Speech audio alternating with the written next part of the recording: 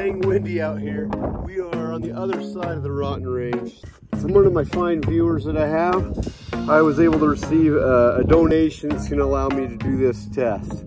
So uh, right here, what you see, you've got a, a, standard plate carrier. Nothing fancy. I think this is a Condor. I don't even think they make this thing anymore, but it is an awesome one. It's just got a front plate on it. What, what is special about this vest is it's super fast, super easy to throw on in an emergency situation because it doesn't really matter what other type of gear you had on. You throw this on in a quick hurry and inside of it,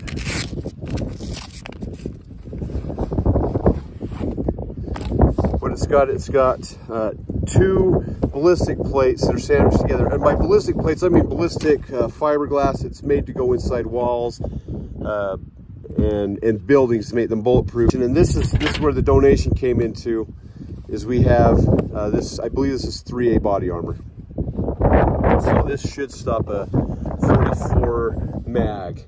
In in past tests, I've been able to stop 30-06 rounds with three of these plates. Um, each, you can see that seam right in there. Each of these, it's a UL listing class three, but each of these plates should equal what, what one of these Kevlar uh, soft body armor panels can stop. So in, in theory, three of these will stop a 30-06 and two of these plus this should be able to. But uh, it's I haven't had the opportunity or the ability to make that test official. Now right here, you might think that I am wasting uh, Mom's Best cereals. And what you're gonna find out is I'm not wasting them they are rancid and they're disgusting. And even the chickens won't eat them. And that's saying something. So I'm going to put that behind the body armor. And that's going to help us determine roughly crush test. We're going to see if there's any crushage on the box because 180 grain 30 6 bullet traveling at over 2,700 feet per second out of the muzzle. What we're really seeing is, is does it actually stop the bullet with the two layers, with two layers of this and one panel of body armor. And will that at least stop the bullet from penetrating the skin? Show you, we got level 3A. We also, I also want to test it here with the trauma plate. We're gonna make a bit of a correction here. Uh, if, if I can get away with not shooting this plate, I'm gonna, I'm gonna try, okay? But here is what the material looks like. Now this used, I've, I've used this multiple times, as you can see. All right, so it is compromised. Uh, this right here, that was a 30-30, I think a 160 grain, and it ended up right there. You can see how that, well, you can't see as much anymore, but it bulged that out. I'm gonna try shoot for this, this area in here. This at one time had been glued together just like that other plate. Hey, sheepdog, you gotta get over here, bud. Come on, come on. Did you find a treat? What'd you find? What'd you find? Oh, a little, little spine or something. All right, let's get on with it. All right, now I actually brought this something else, uh, but anyway, this little, shoot, uh, this is an English cucumber. So I'm gonna put this behind the body armor, see if there's any crushage. Okay, our, these are 180 grain, just your standard Sierra GameKing. There we go. Let's do this. All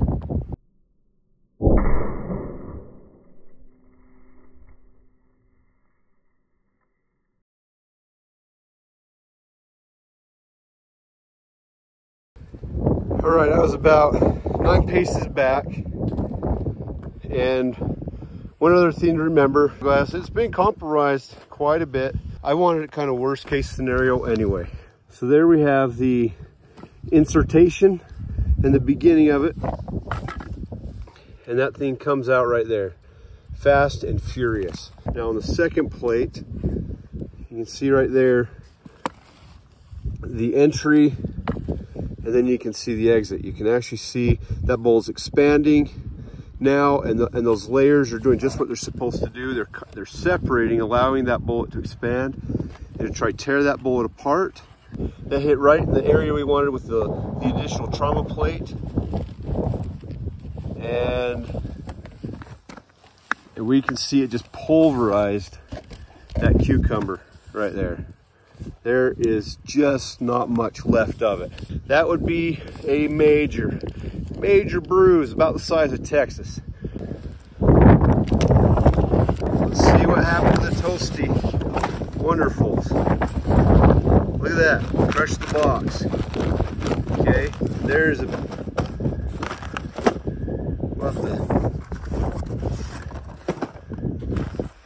and that one, crush the box. It even got pickle juice right inside of here. Okay, crush those two boxes just like we kind of would expect. Let's see if on these ones there's, I don't really see any, any visible crinkling. On that one, maybe this one will be a little bit worse. Should be right here. Okay, there's, there's a little bit right here. You got some crinkle damage into there. What we have, check this out. This is the back side of that vest.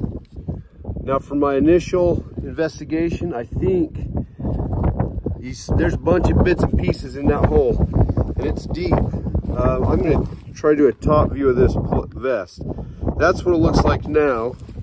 This confirms what I knew, but I needed to do the physical testing. Physical testing tells you um, absolutely what's gonna work. Two layers of that ballistic fiberglass combined with a level 3A body armor is gonna stop a bullet. Is that gonna hurt? Oh, it's gonna hurt and it's gonna hurt bad. But that bullet did not penetrate. Now this is interesting, look. You got it that body, that initial, the fiberglass doing what it's supposed to do. Just tearing that bullet apart so it's losing velocity as fast as possible. And when you come into here, you can see just little, oh, there we go. Let's, and, and it's, it's kind of fused. I apologize. It's fused into that. It's just little bits and chunks of lead and fiberglass. There we go. There's the base of that. That bullet has been turned inside out, did its job. I'm actually astounded. The two layers of the ballistic fiberglass actually were stopped by the trauma plate. Now all that is caught inside this piece of trauma plate. Well, we're gonna call this one a success. The semi-homemade rifle plates worked in conjunction with the vest. And then as you can see, we did a few other tests and uh, I gotta say the soft body armor is pretty impressive. After doing the other tests, I did learn this, that uh, the rifle plate really, really makes a big difference. Even when the soft body armor stops a bullet on its own, oh man, the results just aren't anywhere near as good as when uh, that bullet has been slowed down with a ballistic plate. Thanks for watching.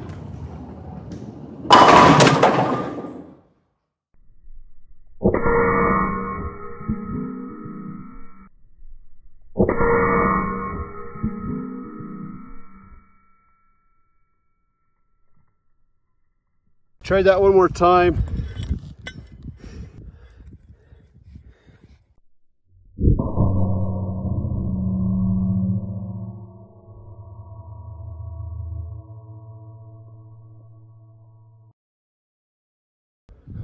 What do we got here, bud? Huh? What do we got here?